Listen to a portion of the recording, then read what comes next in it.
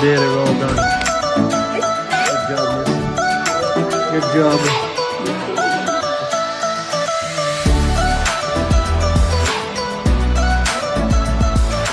Thanking with me today, Zane. High five. Good job. Thanks, mate.